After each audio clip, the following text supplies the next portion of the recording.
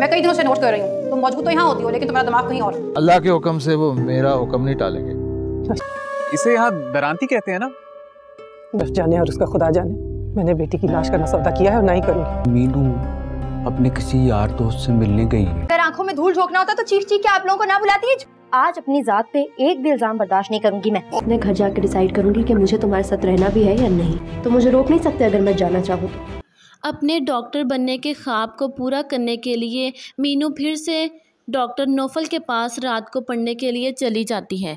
लेकिन जब मीनू के भाइयों को पता चलता है कि मीनू घर में नहीं है तो उन्हें तो बहाना मिल जाता है और कहते हैं अपने अब्बा से कि मीनू रात को किसी से मिलती हैं और इससे पहले कि गाँव में हमारी बदनामी हो, हम मीनू की शादी करा देते हैं।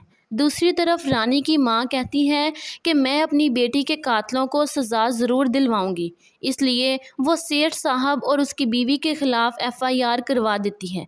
सेठ साहब मलक नादर के पास पहुँचता है और उसे कहता है कि मैं आपके पास बहुत उम्मीद लेकर आया हूँ।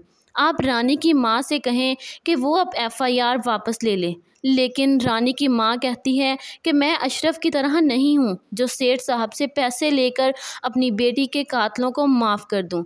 दूसरी तरफ़ जब मीनू कॉलेज पहुँचती है तो उसका सारा ध्यान तो डॉक्टर नौफल की तरफ़ ही रहता है।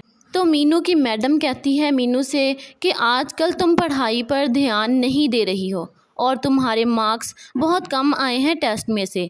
इसीलिए मीनू फिर से फैसला करती हैं कि वो एक बार फिर से डॉक्टर नोफल के पास जाकर पढ़ाई करेगी।